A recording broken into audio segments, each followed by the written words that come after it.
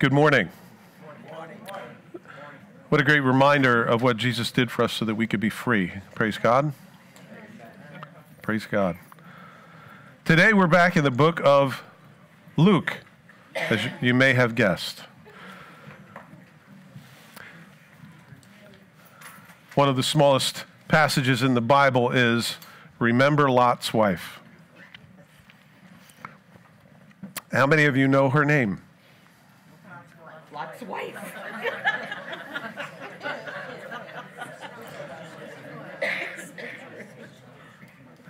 I have such trouble remembering names. Lot's wife is no different. And so there are some names that I've written down that I, I want to highlight. Pat and Kim Hoffman. Why don't you guys stand up and be embarrassed? Uh, Sue Chejusho. Don't stand, stand up, Sue? And Noah Banta. These three have completed membership classes and have consented, strangely, to be members of Grace Bible Fellowship Church.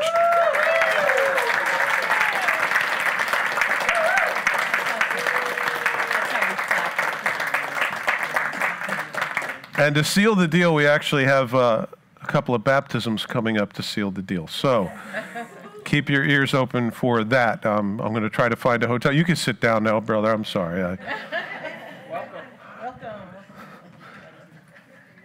It's so good to see fresh new faces come in, hearing the Word of God and growing and finding our fellowship rich and um, deep and loving. Um, it's, a, it's a wonderful thing. It's probably more the food after service, but the rest of it's not too bad.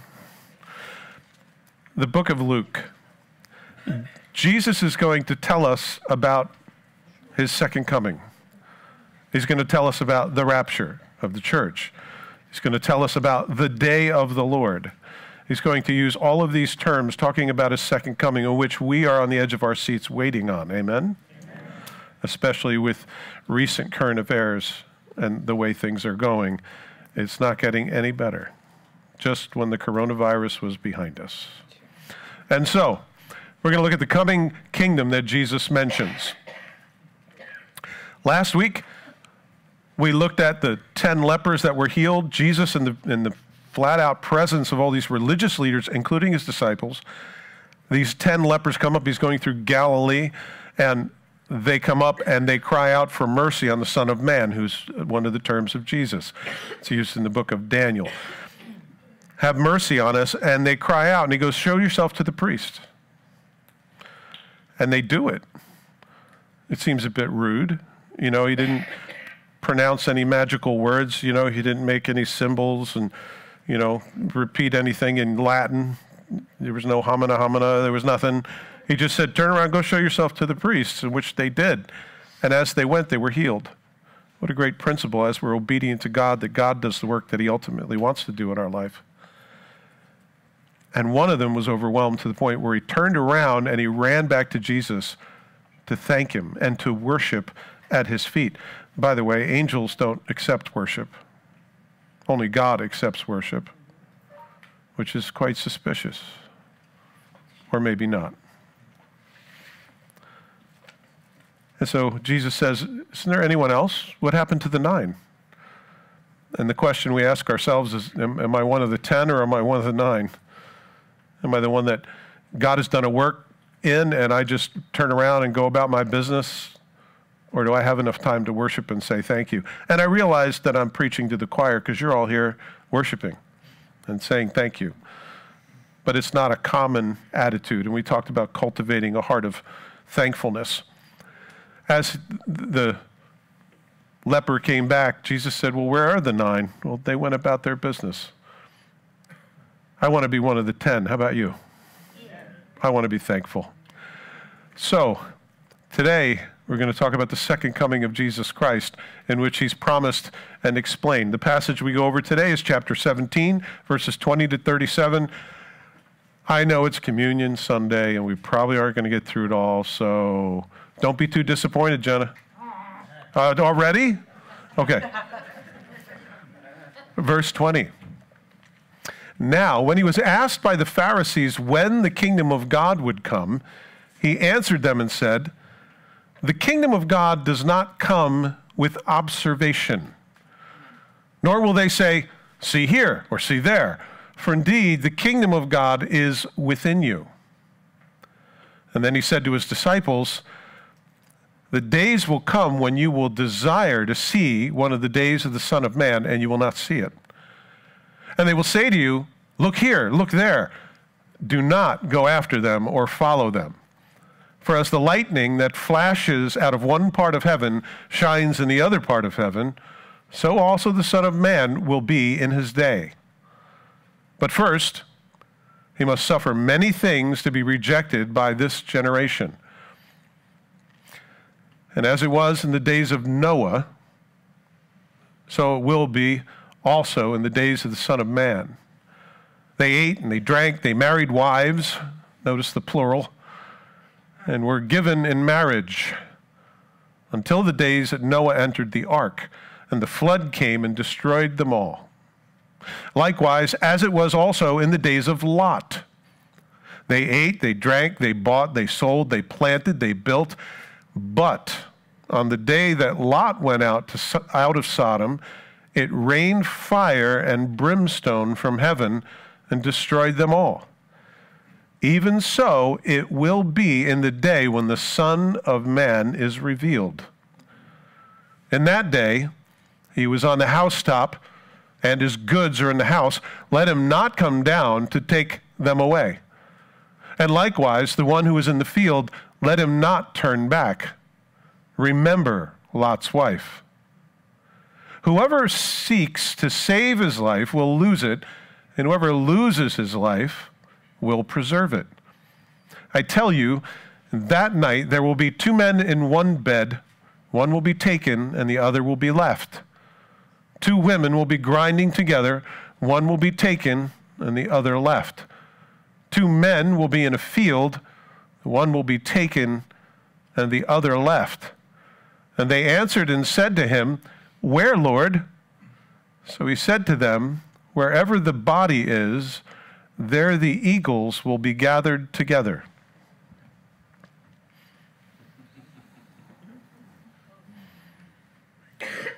Good. Very good. So Jesus is coming again. The Pharisees asked him when the kingdom of God would come. If you remember, Jesus just healed 10 lepers. Boom. One came back in front of the Pharisees, proving he was healed. And the Pharisees, blind as they were, press Jesus and say, when is the coming kingdom going to arrive? Well, there was the king exercising authority, casting out demons, healing people of leprosy, which had never been done. So, why didn't they see that the kingdom of God was there? Why didn't they see the king himself as having arrived.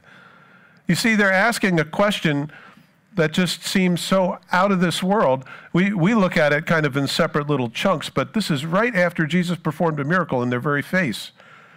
And they say, When is the kingdom of God would come?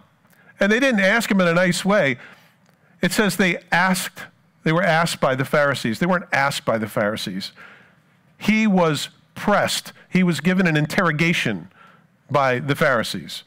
They were giving it to him.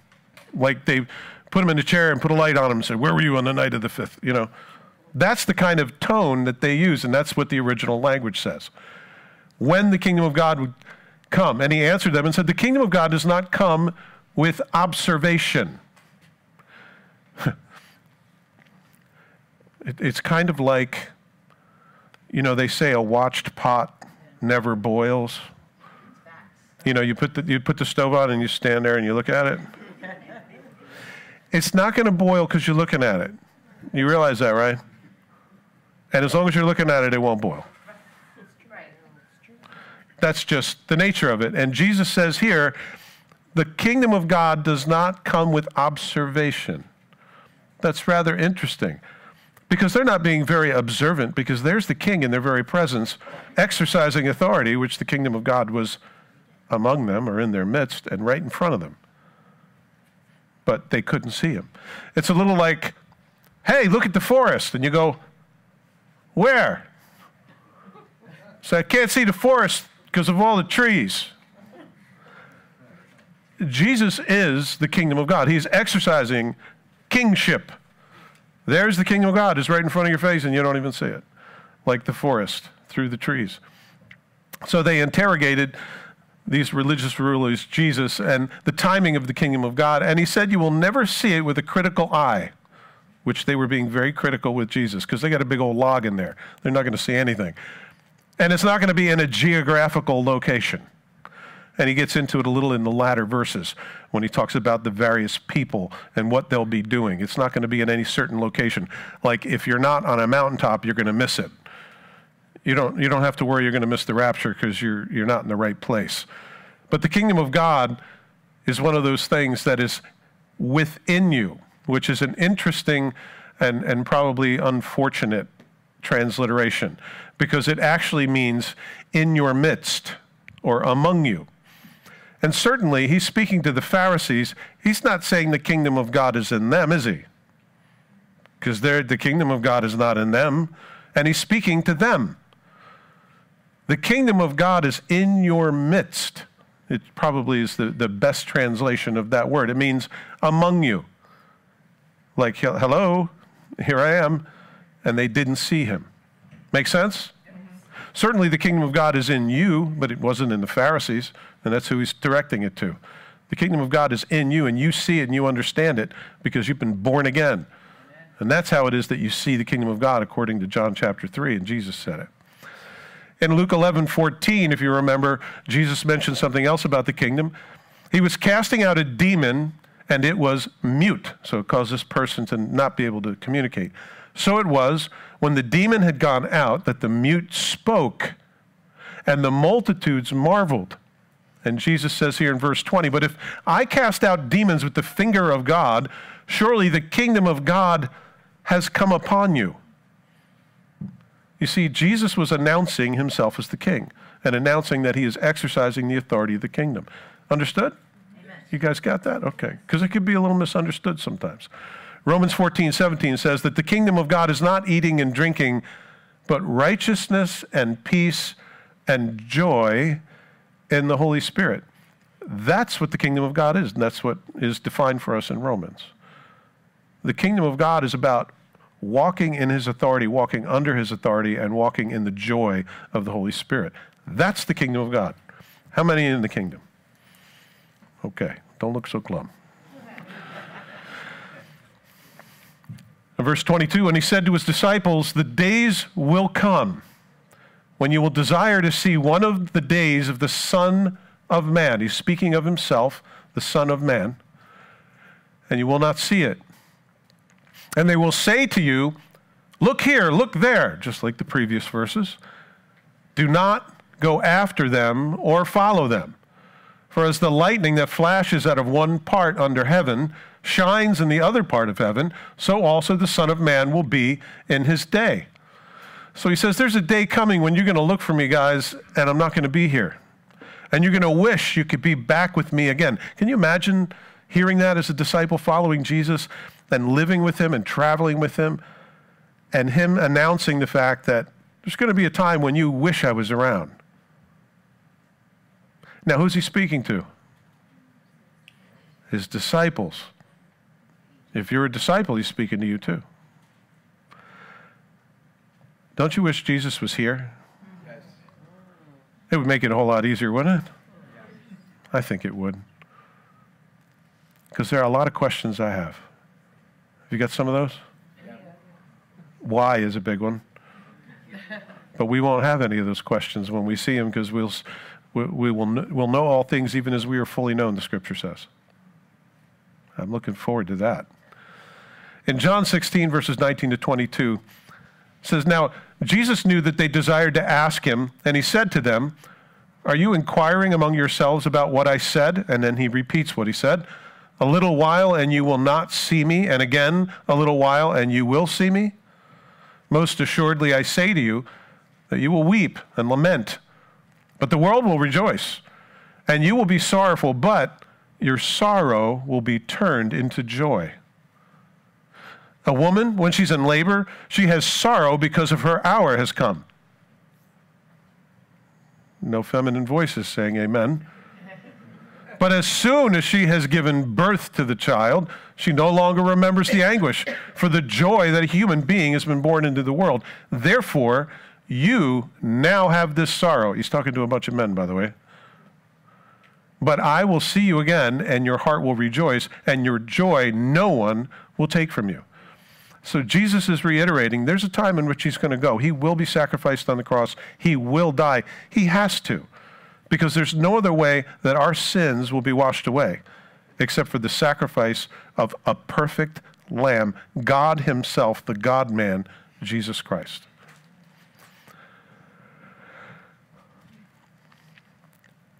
And he says, And they will say to you, Look here, look there. Do not go after them.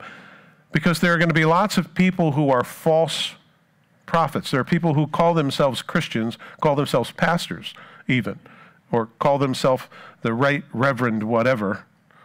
They'll call themselves whatever, but they're not. Just because you call yourself something or because you got a piece of paper on the wall doesn't mean you're anything. It's God who calls people. In Matthew 7:15, he says, "Beware of false prophets who come to you in sheep's clothing, but inwardly they are ravenous wolves."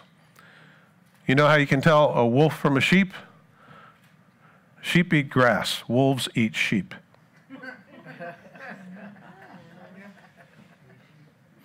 So, you, you find a particular person who claims to be a Christian and yet they devour sheep? And then many false prophets will rise up and deceive many. For false Christs and false prophets will rise and show great signs and wonders to deceive, if possible, even the elect. The scripture says, look out for false teachers because they're going to come, false prophets who will try to tell you that they exclusively have the truth that no one else has. And it's much more than what's written in your scriptures. You know that's a lie, right?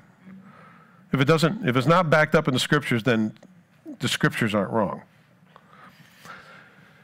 In 1 John 4 1, it says, Beloved, do not believe every spirit, but test the spirits, whether they are of God. Because many false prophets have gone out into the world. You guys know that that's the truth, right? Here's one for you, because I'm not afraid. Anyone who tells you to deny yourself is from Satan, according to Paula White, who's a female preacher on the TV. And here in Matthew 16, 24, it says, Then Jesus told his disciples, If anyone would come after me, let him deny himself, take up his cross, and follow me. It's a pretty straightforward opposite what the scripture says, right? The scripture says, Jesus tells us, test the spirits. Don't just accept everything. Oh, wow. Well, it's on TBN. It must be right. Or it was on the internet. It's got to be true. Or it was on the news. You guys know better, right? In Revelation 20, verse 10, it says, The devil who deceived them was cast into the lake of fire and brimstone, where the beast and the false prophet are, and they will be tormented day and night forever and ever. And by the way, that's not a parable, that's a literal statement. There is a literal place in which people will go because they've rejected God's only sacrifice for our sin. Not because they're this, that, or the other thing, that doesn't send you to hell. What sends you to hell is you don't have a Savior. You don't have a sacrifice for your sin. Amen? Because we're all sinners. But I'm sinning less all the time. But I don't think I'll ever be sinless. In fact, I'm pretty sure of it until the Lord takes me home.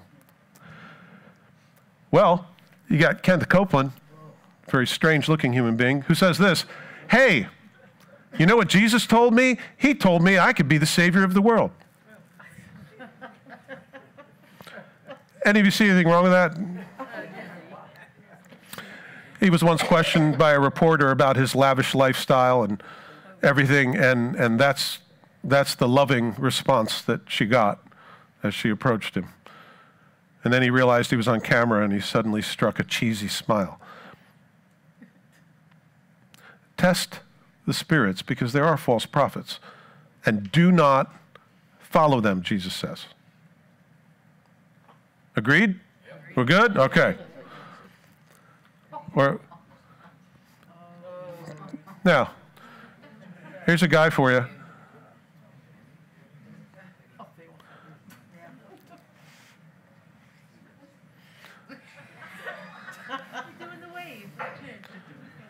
Yes.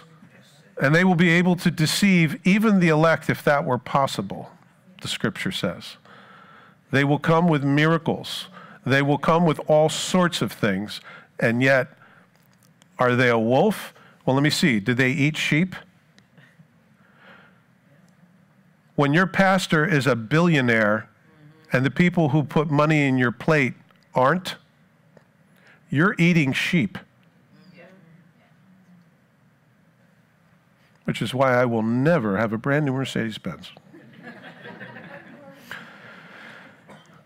and then he said to his disciples, There's a day coming, and as the lightning that flashes out of one part of heaven and shines to the other part under heaven, so also the Son of Man will be in his day. He says it will be like lightning. It won't be this secretive, quiet reigning like the Jehovah Witnesses would tell you that the Jesus is coming again, and we got a date and a time, and that's a big problem already. They, they said, Well, he came, you just missed it. He came quietly. He came kind of, you know, like on the, on the down low. Well, that's, that's in complete conflict with what the Bible teaches, what Jesus himself says here in Luke. Don't let anybody deceive you.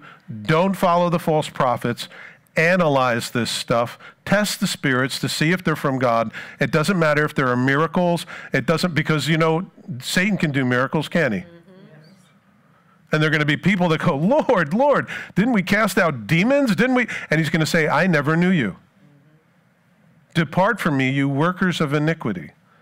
It's much more about the integrity of your life and, and who you belong to than how showy it is that you do for the Lord, right? So it's going to be like lightning in the sky. It will be overt, visible, shocking, unmistakable, undeniable, not subtle, not secret, and not silent. So anybody that tells you is any of those things is not reading the scripture. They're deceived. Do not follow them. They're false. Amen? All right. I'm coming out strong today here, guys. But first, Jesus says, before all of this, he must suffer many things and be rejected by this generation. Isn't it interesting that Jesus talks about his second coming in terms of generations? It's not in days or months or years, he's saying generations. This generation has to reject me first. We see it written of long before Jesus ever came in Isaiah 53 that he would be despised and rejected by men, a man of sorrows and acquainted with grief. And we hid, as it were, our faces from him. He was despised and we did not esteem him. Surely he has borne our griefs and carried our sorrows, yet we esteemed him stricken, smitten by God, and afflicted. But he was wounded for our transgressions, he was bruised for our iniquities and the chastisement or the punishment of our peace was upon him, and by his stripes we are healed. All we, like sheep, have gone astray. We've all turned everyone to his own way, and the Lord has laid on him the iniquity of us all.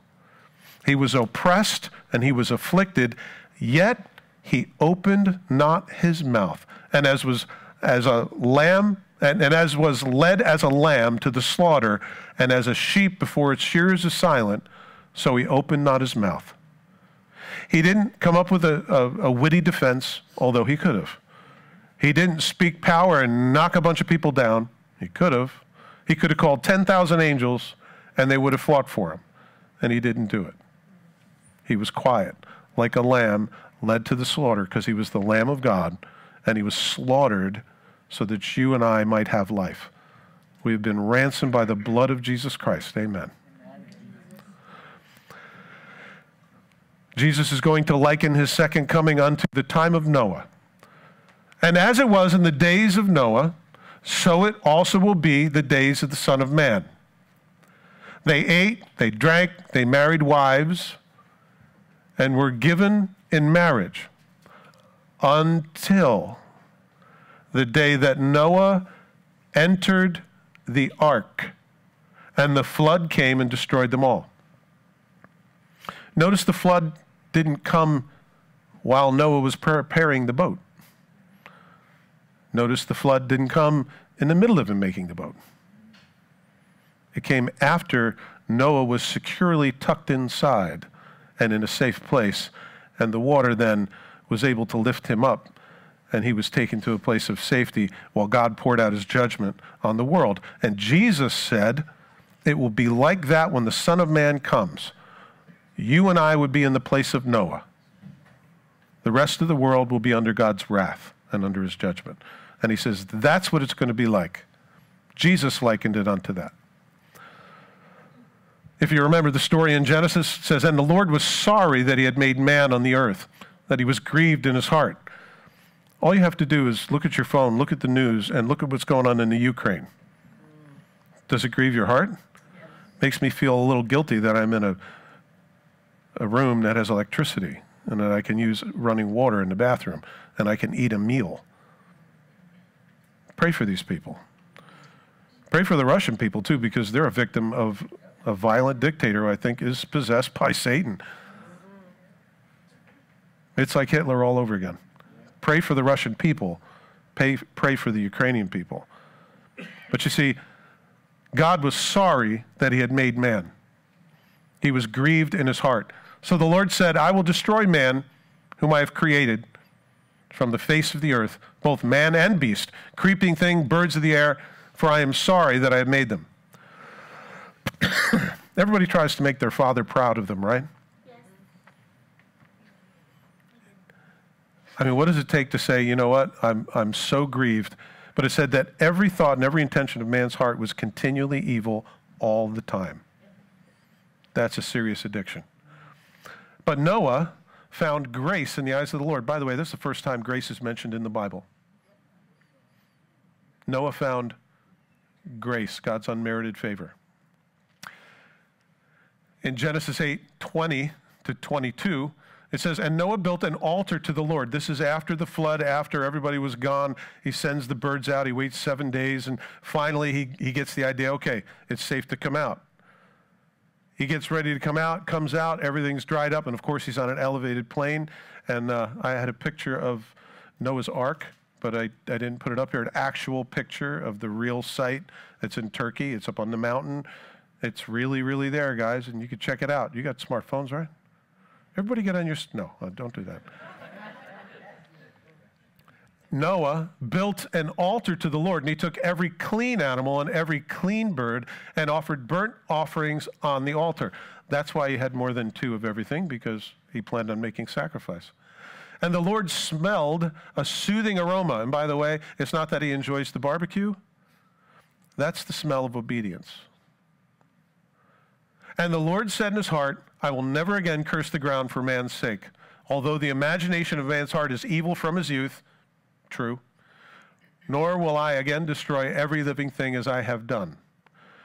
While the earth remains, seed time and harvest, cold and heat, winter and summer, day and night shall not cease.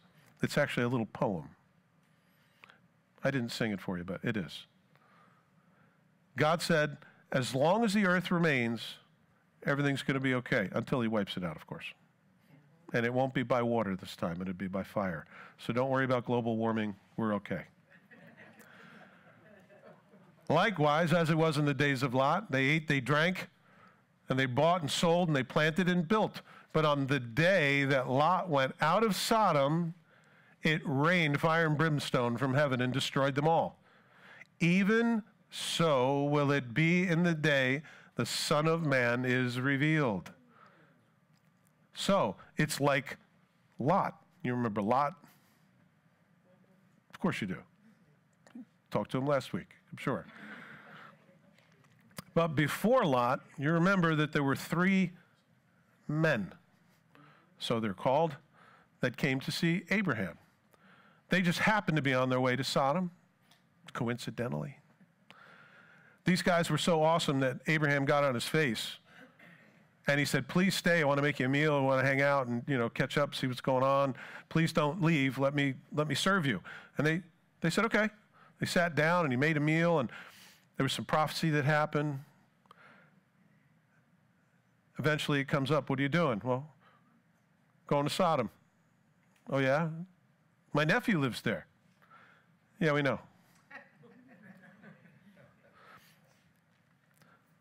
They're going to go destroy the city. So the men turned away from there and went towards Sodom. But Abraham still stood before the Lord. How many went to Sodom? Two. We know that two angels go to Sodom because we, if you read on ahead, there are two that enter Sodom. There's one that he's calling the Lord, who's sticking back and having a conversation with Abraham. Ooh. Abraham came near and said, Would you also destroy the righteous with the wicked? Suppose there are 50 righteous within the city. Would you also destroy the place and not spare it for 50 righteous that were in it? That's a good question. Would God punish the righteous and the wicked all at the same time? And there was silence that day. Far be it from you to do such a thing as this, to slay the righteous and the wicked, so that the righteous should be as the wicked. Far be it from you. Shall not the judge of the whole earth do right? Who's he calling the judge of all the earth? The Lord, who he's talking to. So the Lord said, If I find in Sodom 50 righteous within the city, then I will spare all the place for their sakes. The principle we learn is God will not wipe out the righteous with the wicked. Like Noah, like Lot. You get that? Serious principle. You got to go with the principle before you move on. Genesis 18, 32 to 33 says, And he said, Let not the Lord be angry, because he says, What if there's 40? What if there's 30? What if there's 20? And he gets him down to 10. Let not the Lord be angry, and I will speak but once more. This is, this is what people do when they knock on my door in my office. They're like, I'm so sorry. Can, can I come in? I, I, the building's burning. I don't mean to bother you. But, you know, like, I will speak but once more. Suppose 10. Suppose 10 would be found there. And he said, I will not destroy it for the sake of 10. Apparently, Abraham was done with his whittling down and negotiating. And so the Lord went his way as soon as he had finished speaking with Abraham, and Abraham returned to his place. So before the two angels get to Sodom, he's having this give and take with the Lord, saying, Certainly you would not destroy the righteous and the wicked in the same act. And he says, No, you're right, I wouldn't. Not if there's 50, not if there's 40, not if there's 30, not if there's 20, not if there's 10. You done? I'll bet you he would have gotten down to one and said, I will not destroy the city for the sake of one righteous person. I'm willing to bet. Because guess how many people got delivered who were righteous out of that city? I'm leading the witness. Yes, one. It was a family of four. Genesis 19, 12 to 14 says, And the man said to Lot, have you anyone else here? When the, when the two angels, the messengers, got to the town, they went and asked Lot, say, who do you got? What's the result of your ministry here? You know, you're a, you're a righteous man. You kind of went, you were outside of Sodom for a while, then you went near the gate, and then you opened your tent towards Sodom, and then suddenly you're in the city gate. You're a big deal. You're, you know, you're one of the council members now. So how's your ministry doing? Who do you have? Oh, there's my wife. There's my two daughters and and their sons, or, or soon to be, or their uh, husbands. Okay. All right. You've been a missionary in this town, and that's what you got. okay. Let's deal with that. Have you anyone else? Sons in law, your sons, your daughters, whomever you have in the city, take them out of this place. For we will destroy this place, because the outcry against them has grown great before the face of the Lord, and the Lord has sent us to destroy it. So Lot went out and he spoke to his sons in law, who had married his daughters, and said, Get up, get out of this place. The Lord will destroy the city. But to his sons in law, he seemed to be joking. Old man, go home. But his daughters go with him. I think that's interesting.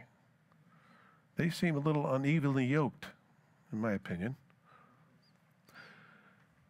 And when the morning dawned, the angels urged Lot to hurry, saying, Arise, take your wife and your two daughters who are here, lest you be consumed in the punishment of the city.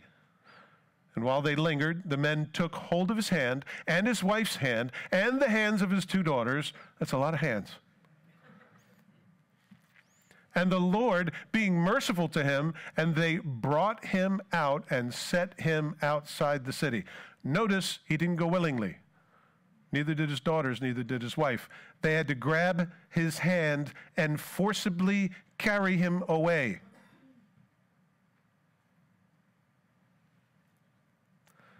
So it came to pass, and when they brought them outside, that he said, Escape for your life, do not look behind you, nor stay anywhere in the plain. Escape to the mountains, lest you be destroyed. And Lot had a problem with that because he was a city boy. And he goes, Oh no, oh no, no. If I go into the woods, I'm, something's going to happen. I know it. I just know it. I'm going to get devoured by a bear, by a cheetah, I don't know, an angry sloth. It could be anything. I, I, don't, I, I can't go there. Hey, there's a little city over here. Why don't I go there? It's a little city. It's a teeny little city. And they called it Zoar, which means little. And that's what they named the city from then on was Zoar, which means little. Yeah, it's, it's a little city. Can't, can't we go there? And the, angel says to him, Hurry, escape there, for I cannot do anything until you arrive there. I cannot do anything until you arrive there. Why? Because God will not punish the innocent with the guilty, right? Just wondering if you're picking up what I'm laying down. Jesus said, As in the time of Lot, it will be when I come again. You're going to be forcibly taken away and brought to a place of safety before the judgment happens. Escape, therefore, I cannot do anything until you arrive there. That sounds like a principle. Therefore, the name of the city was called Zoar, which means little, which I told you already. I, sometimes I do that. Peter got it right in 2 Peter 2 4 and 9. For God did not spare the angels who sinned, but cast them down to hell and delivered them into chains of darkness. He's talking about the disobedient ones, the fallen angels, to be reserved for judgment.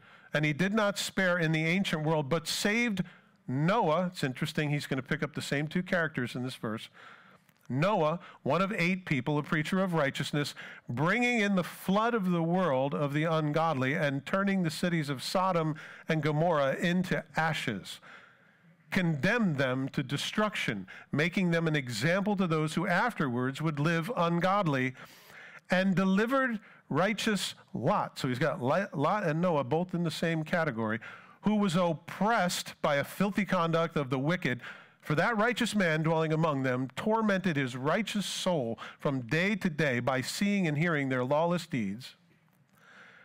Then, here's the principle the Lord knows how to deliver the godly out of temptations and to reserve the unjust under punishment for the day of judgment.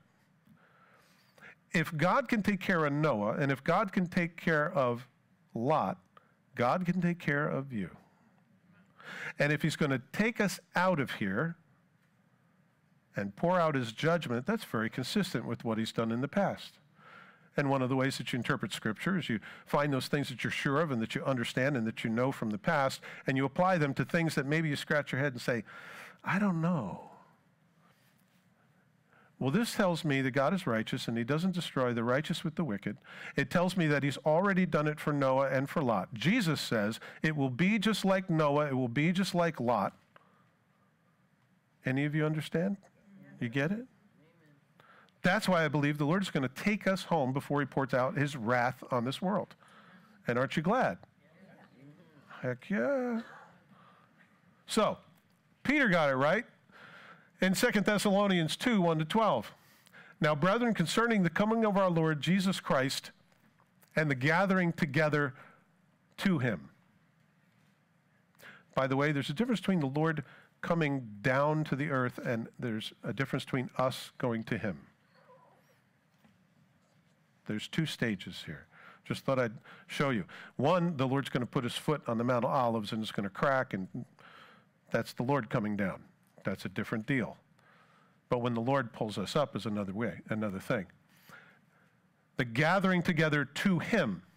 We ask you not to be soon shaken in mind or troubled, either by spirit or by word or by letter, as if from us, as though the day of Christ had come. You see, these guys were afraid. They were in the midst of the tribulation. Rome was going nuts. Christians were dying, and they're like, we missed the bus. Jesus took his people home and, he, and didn't pick us up. We're in the middle of the tribulation. And he said, Don't get too excited. You didn't miss anything. As though the day of Christ had come. Let no one deceive you by any means that the day will not come unless the falling away first. And the man of sin is revealed, the son of perdition, who opposes and exalts himself above all that is called God or that is worshiped so that he sits as God in the temple of God, showing himself that he is God or he pretends he's God. Do you not remember this, that when I was still with you, I told you these things? By the way, he was only with the Thessalonians for a few weeks. And he taught them eschatology, the, the, the end things, and the coming of the Lord. He goes, Don't you remember this? These guys are all worried. Oh no, the Lord came back and took a bunch of people. It must be because it's like we're in the tribulation. There's stuff going on. He goes, Listen, there wasn't a great falling away yet. This person of, of sin, who's the Antichrist, has not been revealed yet. So take it easy. You're, not in the tribulation. Make sense? Okay. In 2 Thessalonians chapter 2, verses 1 to 12, he says, And now you know what is restraining, that he may be revealed in his own time. Who's he talking about? Who is the one who restrains God's judgment? The Holy Spirit of God in you. Isn't that nice to know? Because you're the salt of the earth, you're the preservative of this place. Now you know what is restraining, and that he may be revealed in his own time. That's the Antichrist. For the mystery of lawlessness is already at work. Only he who now restrains will do so until he, the Holy Spirit, is taken out of the way. And when the lawless one will be revealed, notice it's after the Holy Spirit is taken out of the way, whom the Lord will consume with the breath of his mouth and destroy at the brightness of his coming. The coming of the lawless one is according to the working of Satan, with all power, signs, and lying wonders, and with all unrighteous deception among those who perish. So, who's being deceived? Those who perish. Those are the ones who will be deceived. Because we already believe. Nobody's going to pull the wool over your eyes, right? Because they did not receive the love of the truth that they might be saved. That's why people perish, because they didn't receive the love of Jesus Christ. The reason people go to hell is not because of whatever particular sin you can name. And there's no sin greater than another, it's all disobedience to God. The reason that you don't go to heaven is because you don't have a Savior, because you haven't been forgiven, because your sins haven't been covered, you haven't been born again, you're not a new creature in Christ Jesus, all things have not been made new. So it doesn't matter your particular sin. Good? Yeah. I'm moving on. And for this reason, God will send them a strong delusion. He's going to send those who are deceived already a strong delusion so that they should believe the lie, that they all may be condemned who did not believe the truth but had pleasure in unrighteousness. You see, if you're not going to believe the truth, God's going to let a lie come that you'll believe. Because you're already deceived, you're already lost, you're already perishing. So he's going to give you overwhelming proof that what you believe, if you're perishing, is true. I, I believe, Pastor Dave, that there are UFOs. Okay, I believe you're going to have a powerful delusion.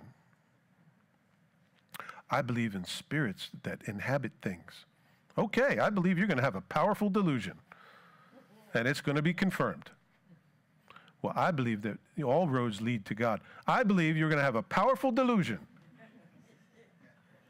because the scriptures are clear and Jesus has demonstrated his power. He is the way, the truth, and the life. No man comes to the Father but by him. We're at a time. You see, I prophetically mentioned that Jenna would be disappointed. Guys, reading the Bible line at a time and going through it in its context as Jesus is laying it out for us is the best way to study the Bible. It is so easy to get completely whacked out by surfing the internet and listening to people tell you what they think it says. Read the book. It is the most enlightening, most helpful, most spiritually healthy thing that you can do is read the Bible. It will tell you lots of bad things about you. And you need to hear that. And it will tell you all the great things about Jesus Christ and all of the things that we have in Him. And guys, God loves us like He does a bride. And trust me, He is going to protect His bride before He pours out wrath on a Christ rejecting world. Don't forget Lot's wife.